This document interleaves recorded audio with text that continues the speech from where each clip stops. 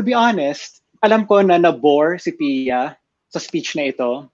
But I'd like to us argue, to propose to you, that this speech is in fact emblematic of his presidency.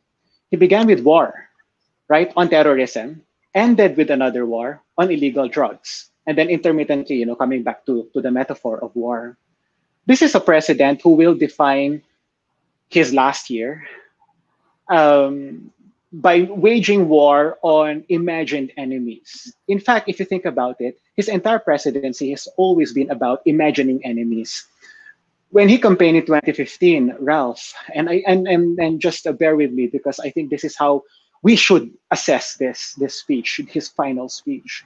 He has always been making enemies, seeing enemies where they don't exist. Yung drugs, manufactured lang naman yun eh. 250,000 lang or thereabouts in by PIDEA in 2015, tapos bloated into millions. Tapos ngayon, communists, wait, saan ang galing yun?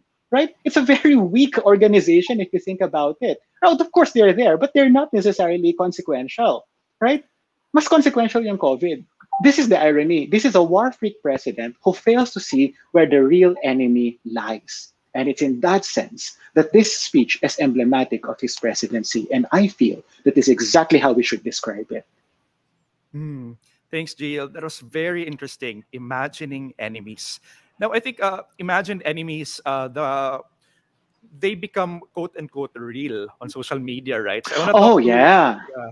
Yeah. So, Jayeel, can you add more about that? And also, uh, if Camille can add as well, uh, I think uh, I mean, President Duterte did not explicitly uh, mention anything about social media, but he did mention about ABS-CBN, right? Uh, should I begin or si Camille? Um, okay, sige. Uh, so yeah, just, just very quickly. Uh, Ah, sige, just just very quickly. Um, so these are imagined enemies, and then they become real. This is exactly the power of populism. This is the power of penal populism, looking for people to punish. And this is exactly why I understand no, that we are approaching social media as that monolithic thing that brainwashes all of us.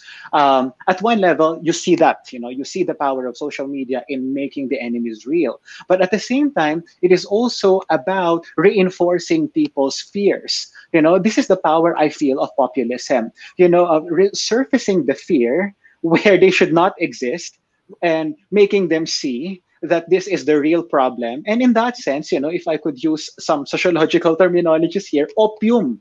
Nagiging opium yon kasi they forget that there are other real enemies here. And I think it's in that sense na, na this is a very, um, it's a wasted presidency if you ask me, right? Creating enemies where they don't exist waging wars on enemies that are not consequential, and then forgetting that there are real problems. COVID, poverty, hindi niya binanggit, self-rated poverty has been going up almost 49%, right? Um, JC would know this. Hunger has increased. Where the real problems lie, he failed to mention them.